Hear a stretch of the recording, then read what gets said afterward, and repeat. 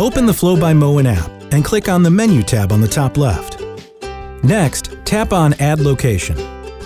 Select the type of location and how you use this location. Give your device a nickname. Enter your location's address. Answer the following questions. Next, select the appliances and amenities that apply.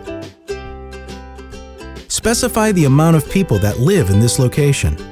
Then, select a target goal for your daily water use.